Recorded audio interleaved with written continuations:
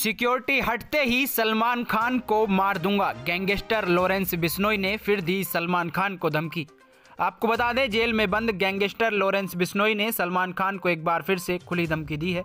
TV channel को दिए interview में लॉरेंस बिश्नोई ने सलमान खान को लेकर खूब आग उगली है और उन्हें जान से मारने की धमकी भी दी है।